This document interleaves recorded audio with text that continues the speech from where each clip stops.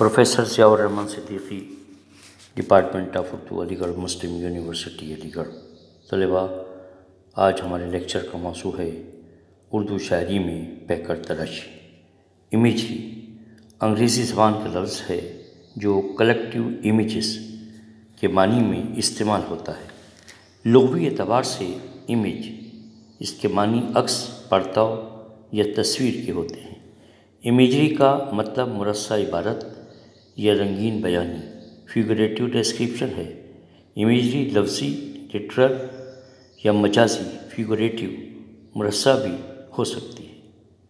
पैकर image अलामत symbol तजवी simile और इस्तारा मेटाफर सब के सब इमेजरी को तश्कील करते हैं। इसे लफ्ज़ों के अलामती इस्तेमाल, तकरार और लफ्ज़ी तस्वीरों के ज़रिए ज़ाहिर किया जाता है। जिससे कलाम में असर और दिलकशी पैदा हो जाती है। ज़की मुबारक पैकर तराशी का ज़िक्र करते हुए लिखते हैं कि ये नकद शेर और मवाजन बैन शेर में एक जदीद फ़न है। लेकिन यूसुफ हसन खां का ख्याल है कि लफ्ज़ों में तसवुर पोशीदा होते हैं। हर तस्वुर अपना एक पस मंज़र रखता है। जो हमें जहनी तौर पर एक मखसूस गिरदोपेश में ले जाता है। इससे भूली बिसरी यादें ताज़ा हो जाती हैं। इन यादों का ताल्लुक़ हाफसे और शौर से भी होता है। यूसुफ हसन खां इमेजरी के सैल में हाफजे और शौर से माजी के रिश्तों को भी जोड़ने की कोशिश करते हैं।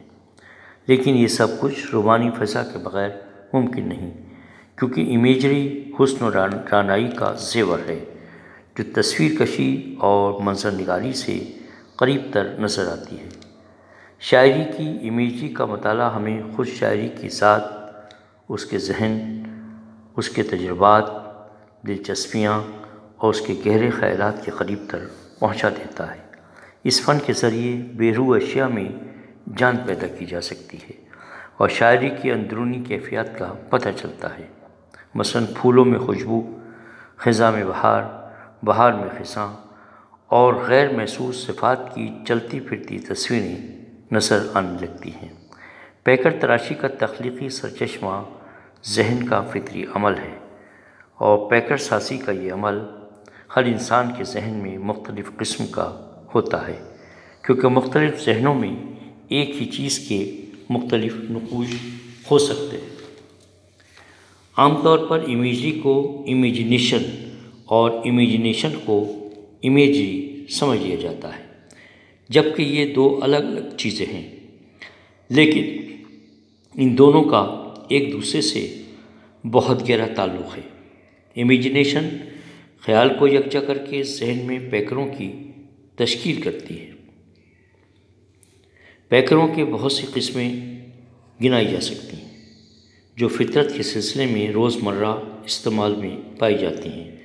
और जिन लफ्ज़ों से पैकर तराशी का तस्वुर सामने आता है, इनमें लाला मौज, दरिया, शबनम, कतरा, सहरा, सीमाब, लाल बदख्शां, जुगनू, परवाना, मौसम, बादल, हवा, बारिश, धूप, छाँव, तालाब, सब्ज़ा, समंदर, परिंदे, शिकार।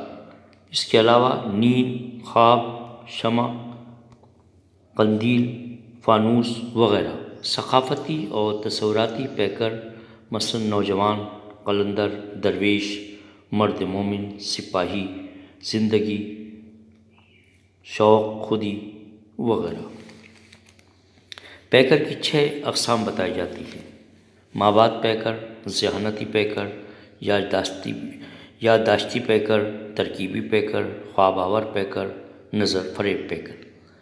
उर्दू शायरी में पेकर तराशी के नमूने मुतद शुरा के यहाँ मौजूद हैं, जिनमें कुल कुतुब शाह, वली, फ़िराक़ी, जुर्रत, मीर, गालिब शौक़ सफ़र, हाली, मोमिन, आतिश, नासिर, जिगर, जोश और मशहू के नाम लिए जा सकते हैं। जदीद उर्दू नज़म में इकबाल, हाली, शिबली अकबर, नसीर सीमाब जगबस अख्तर, शिरानी, एहसान दानिश के यहाँ पैकर तराशी के नमूने मौजूद हैं। पैकर पर्द जहन पर ख्याल ही का अक्स है। यही अक्स जब अल्फाज के ज़रिए जहन की परतों पर उतरता है तो लफ्ज़ी पैकर की शक्ल इख्तियार कर लेता है और शेरियात में उतरता है तो शेरी पैकर कहलाता है। इकबाल की नस्में, माँ का ख्वाब, परिंदे की फरियाद, एक आरसू लफ्ज़ी पैकर तराशी के बेहतरीन नमूने हैं। मिसाल के तौर पर माँ के ख्वाब से चंद अशार पेश किए जाते हैं।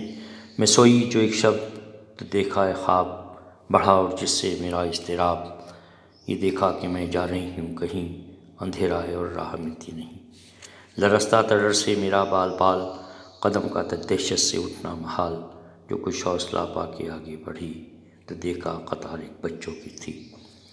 बीसवीं सदी के आगाज़ में उर्दू नज़म को शोरा, जो अपनी इनफरादियत की बिना पर काबिल ज़िक्र करार दिए गए, उनमें बेनज़ीर शाह की नज़में अपनी सादगी और नकमकी के अतबार से बेमिसाल हैं। नज़म तबा तबाई की नज़में और उनके बाद अंग्रेज़ी नज़मों के तराजिम मसलन गोरे गरीबा बहुत मशहूर हुई।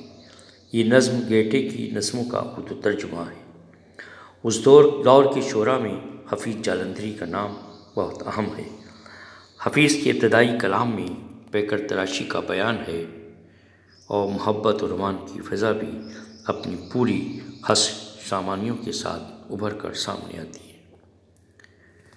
दौर जदीद में चंद ऐसे शरा के नाम भी सामने आते हैं जिन्होंने उर्दू नज़म को पैकर तराशी के फ़न से न सिर्फ़ रोशनास कराया, बल्कि मुख्तलिफ़ किस्म की पैकर तराशी को अपनी शायरी में जगह दी। इनमें एहसान दानिश, अख्तर शिरानी, अली सदा जाफरी साहिर लुधियानवी, शकील बदायूनी, अख्तर अलीमान, अहमद फराज, जोश मलियाबादी जानिसर अख्तर, फैज़ अहमद फैज़, सलाम मछली शहरी जमील मजहरी शाज तमकनत साजिद जैदी क्यूम नज़र सिकंदर अली वश कैफ़ी आज़मी, अमीर खनफ़ी मजाज लखनवी, नादिर का कौरवी इबन शाह, कतल शिपाही परवीन शाकिर, काजी सलीम, इसमत चुगताई, बशर नवाज़, जावेद नासिर और दीगर शुरा के नाम शामिल हैं। जोश के अदबी पस मंज़र में शायराना फ़नकारी और पैकर तराशी की मिसालें पेश की जा सकती हैं। मसलन, गाड़ी में गुनगुनाता मसूर जा रहा था, अजमेर की तरफ़ से जयपुर जा रहा था। उनकी एक और नज़म है दोपहर बाज़ार का दिन, गाँव की खलकत का शोर, खून की प्यासी शिवाएँ, रूह फरसा, लू का शोर जिस तरह इंसान किसी हँसते हुए इंसान को देखकर हंसने लगता है और रोते हुए इंसान को देखकर रोने लगता है। उसी तरह खुश आयन और मसरत आफरी अल्फाज, उसकी तबीयत और मिजाज में शगुफ्तगी और बशाशत पैदा कर देते हैं। अफसरदा और गमगीन आवाज़ या अल्फाज उसको रंजीदा कर देते हैं कि अफसरदा दिल, अफसरदा कुनत अंजुमन रा चंद शरा के कलाम की मिसालें नमूने के तौर पर पेश की जा सकती हैं। मसलन, बाप की सोई हुई किस्मत जगाने के लिए, कब्र पे तो फूल ले आना चढ़ाने के लिए, जवान रात के सीने में दूधिया आंचल, मचल रहा है किसी ख्वाब मरमरी की तरह, हसीन फूल, हसीन पत्तियाँ हसी शाखें लचक रही हैं किसी जिसमें नाजनी की तरह, साहिल। तुम एक ऐसे घराने की लाज हो जिसने हर एक दौर को तहसीब व आगही दी है तमाम मंतिक व हमत तमाम इल्म अदब चराग बन के ज़माने को रोशनी दी है जानी तर अब आओ तो रखा क्या है? चश्मे सारे सूख चुके हैं। यूँ आओ तो आ सकती हो। मैंने आँसू पोछ लिए हैं। शायरी में सारा कमाल पैकर तराशी का है। कलाम में तमाम असराफनीन और दिलकशी इमेजरी की रही मिन्नत है। अगर शेर से इमेजरी को अलग कर दिया जाए तो शेर बेलुत्फ और बेमसा हो जाएगा। पैकर तराशी एक जदीद फ़न है। इसका मताल अदब में इजाफे की हैसियत रखता है, जिसके ज़रिए अदब में नई शाखें फूट सकती हैं। शुक्रिया।